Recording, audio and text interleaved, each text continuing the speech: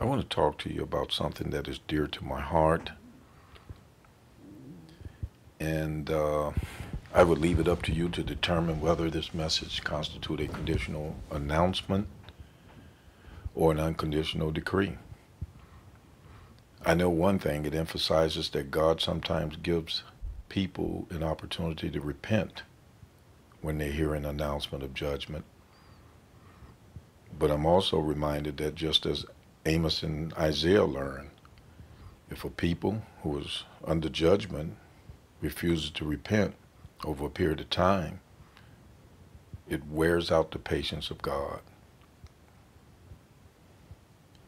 So in many cases, uh, I, I understand that it's very difficult to determine initially whether or not a prophetic message of coming judgment is conditional or unconditional. And it explained uh, the uncertainty that some people have. I first want to share something that I think is relevant many years ago. I uh, have been spiritual all my life, though.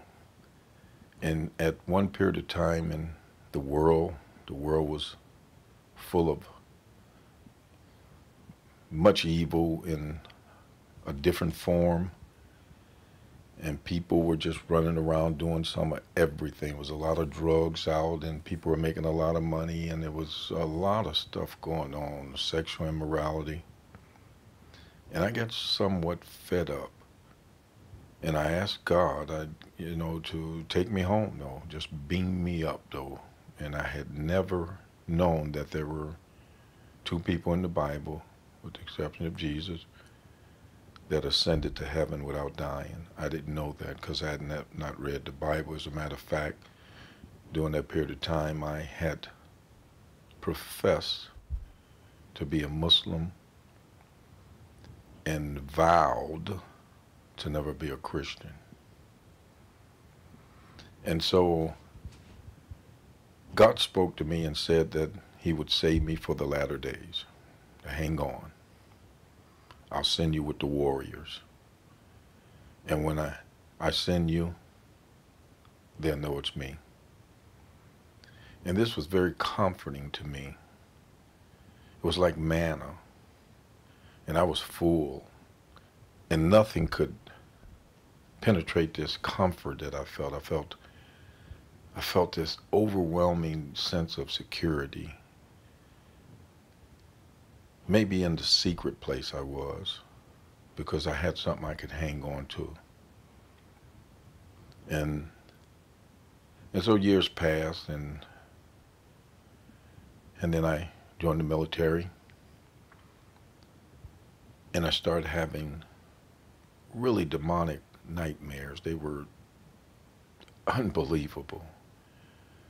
I mean, the the, the, the devil, the, these demonic spirits, uh, just chased me relentlessly, just every single night. Though I just dreaded going to sleep, so I indulged in dr drugs and alcohol, and and I thought that that would ease the the uh, nightmares, but it didn't.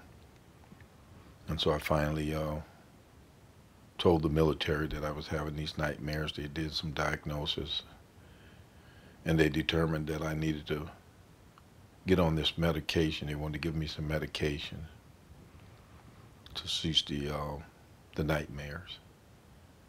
And so I consulted with God. And God spoke to me again and said that it was not a medical condition that I was experiencing, but in fact, it was spiritual. It was spiritual warfare.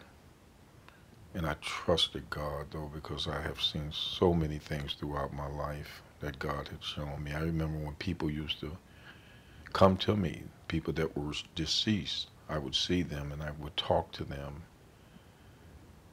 And so I declined to take the medication. And some years passed. And then one day it was over with. And God told me that they would never bother me again. I would never have to deal with them. Later on, I found out that there were two other people in my family who experienced the exact same thing. The exact same thing. And so those kind of things make me believe. They they they just reaffirm my belief in in God. And so later on, God touched me on the shoulders and told me to meet his son at the cross. And I mind you, I had uh, vowed to never be a Christian. And I knew what he meant when he said, meet his son at the cross. And I met Jesus at the cross. And God reminded me, he said, you remember when you were having those nightmares? I said, yeah. He said, I had you laboring with the enemy so that you would always know him. And then it made sense. Because I, even when I came to Christianity, I could, I could see the demonic spirits sometimes sitting up in church, sitting up with people. I thought I was seeing things. I, I would drive down the streets and I could see demonic spirits. And sometime, I, one time I had a, an encounter and I had someone with me. I had my wife with me. And uh, we both witnessed this, though. A demonic spirit uh, jumped right in front of the car and laughed at us. And I thought I hit it. And I did hit it because we heard the noise, and there were people that it was at nighttime. People came out because they they saw it and heard it, and we could not find this this this this spirit, whatever I hit. We couldn't find it we knew what it was because we, we looked at eye, eye to eye. And it was a, just a lot of demonic activity going on then. It, it was a lot of things going on. And so we knew what we had seen because we could feel it in our spirit. And so this brings me to something that I'm deeply concerned about, and it is the the current condition where Satan is permeating the earth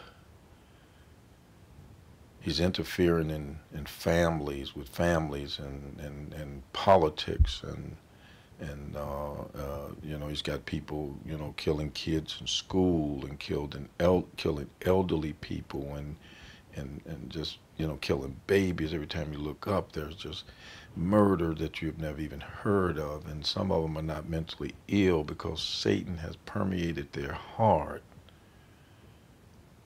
and then you have people that want to spread hate because they have Satan's DNA in them. That's right, that's what God told me. No matter what you say, no matter what you do, no matter what goes on, they oppose Christ. Anything related to Christ, they oppose. And so they're starting to gather up some other people, some good people, some of them are Christians. They're trying to gather them up. And, and the reason why they, that this demonic spirit is able to gather these people, to usher these people in, is because they have legitimate concerns. They're worried about the depletion of their savings and Social Security and the plight of the country, United States, and they have legitimate concerns. They're very legitimate. I stand with you on them. But the way you're going about doing is demonic. It's the wrong way. You can't see because Satan has you blind. But anytime that you have evil in you like that, though, you know, hatred is evil. You want to oppress a people, a race, a religion, that's evil. God doesn't stand with you on that. You may have a legitimate issue that got you to that point, but it's the way you're going about doing it. You can't justify it. If you could show me in the Bible, God fearing people, anything that'll support your behavior of, of hate, then I'll stand with you. I'll stand with you. If God allows us to hate people because of their color or, or because of their religion, then I'll stand with you. But you can't find it because God is a social justice God. God, God God so loved the world, not just Christians, that he gave his only begotten Son, that whoever shall believe in him should not perish, but have everlasting life. He gave that to the world. That's right. And so you can't convince me that what you're doing, this this hate mongering and, and pitting race against race and and, and, and, and just discriminating and, and, and want to kill people. You want to actually murder people. You can't convince me that that's part of God. And the reason why I talk about this because some of you guys are God-fearing people. I could look at you and tell. I, I watch. I watch you on TV, and I've seen you in the stores. And and and by the way, the funniest thing about all of this, you have legitimate concerns about your about the things that that uh, affect you today. You know your your your uh, income and lack of jobs, and you think the country is going to hell, and you know, but you you're responsible for this. A lot of you, a lot of you who are, are, are ranting and, and, and, and, and, and crying and, and, and complaining right now, you're responsible. You didn't say anything when your boy was in there, the person that you selected, or the, the, the, the persons, you know, over the years that you have selected when you when, when they when they suited your need, it was okay. But soon as someone gets in the presidency that you don't like, then the country's going to hell. But where were you though when the country was going to hell? The country doesn't go to hell just overnight. This been going on for many, many years, but I heard not a voice. Not a voice, not from the ones who are ranting now. Not a voice. But now all of a sudden, you want to rise up and create an authoritarian government in, in, in, America. The one now you've been all over the world trying to spread democracy, and now you're thinking about having authoritarian uh, government here in America, which will never happen. But I want to talk to the crybabies, the ones who, who, who pout and you know, they never seem to be pleased and stuff. They pouted and cried about affirmative action. They gave him a pacifier and they quit crying for a while. Oh, they start whining again about welfare. Didn't even know what they were talking about, but they whined and you received another pastor fire. Now you're whining again. They're just just forever whining and wetting in your pants and stuff, just crying though. Just think the world owes you something and think you rule the world. Every rule the world. Everything has to fit your needs. And I'm understanding. I, am understanding some of the things that you're concerned about, but I want to know who, when did the, Jesus die, and leave you king? That's what I don't get. I don't understand where you get this authority from. Because my understanding is God made everyone intrinsically valuable. Or they have they have intrinsic value and intrinsic worth. That means that every single person, I don't care whether you're a prostitute or or murderer or a drug pusher, you are important to God. God loves you. He doesn't love you because of what you have done and what you didn't do. He loves you because who you are. You are His creation. So everyone is equal. But there are people around the world, especially in this country, that think that they're better than other people. And they want to dominate the world they want not just this country, the people in the country, the people that they don't like. They want to dominate the world. And I'm telling you right now that it'll never happen. And so take an inventory of yourself and weigh your ideology and your theology and stuff against the Bible if you're God fearing.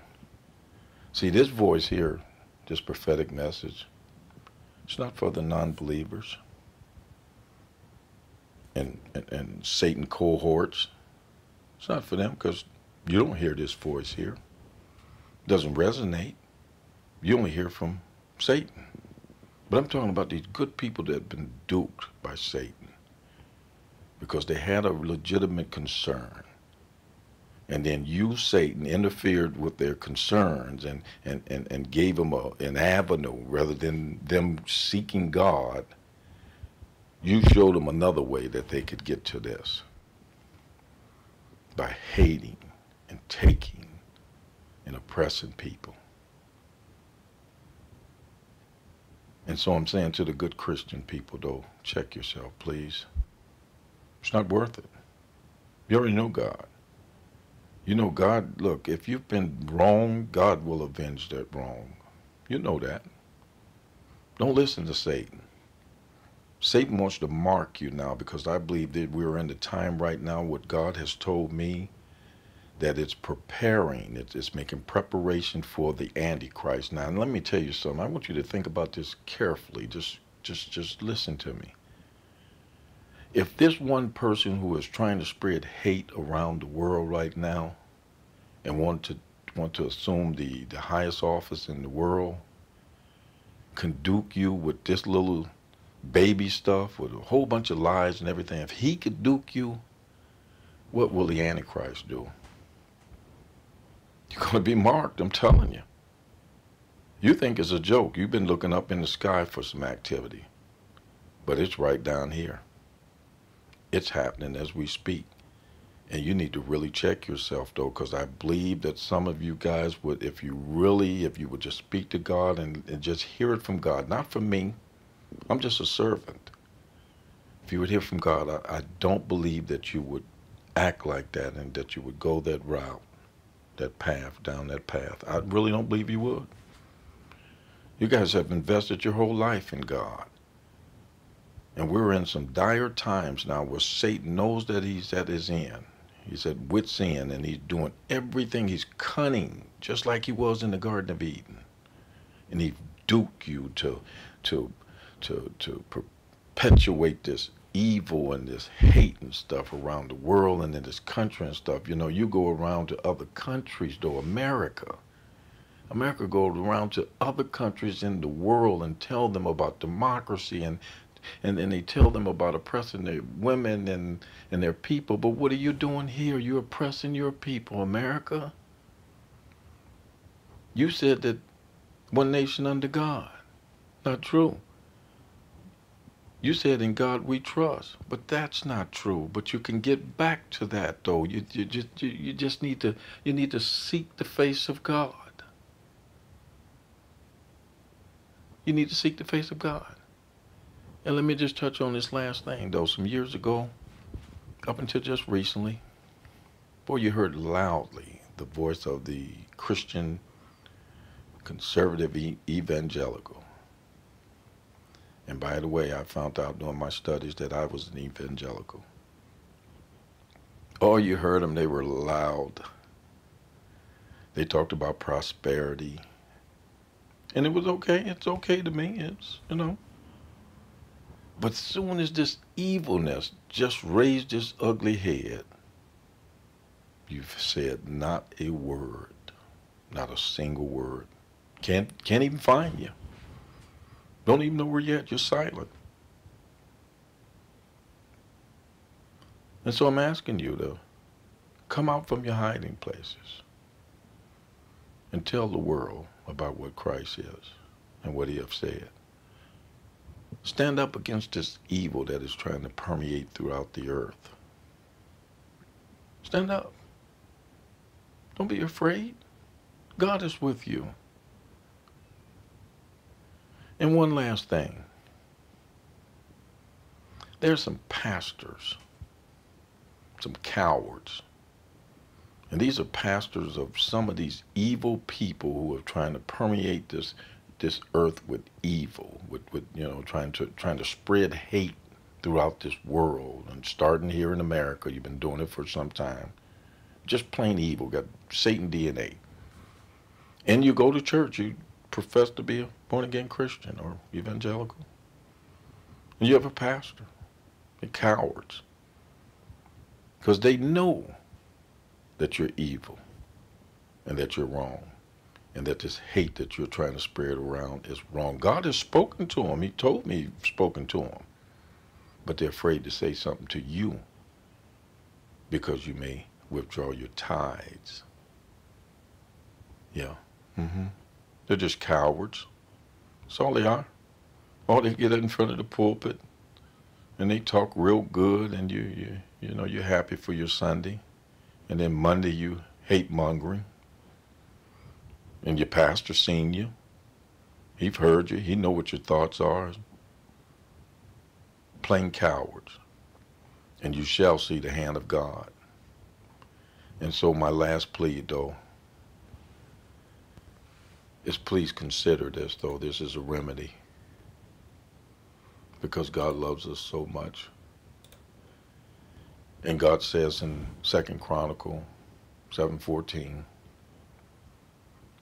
that my people who are called by my name, if they'd humble themselves and pray and seek my face and turn from their wicked ways, then will I hear from heaven, and I will forgive their sins and heal their land, America.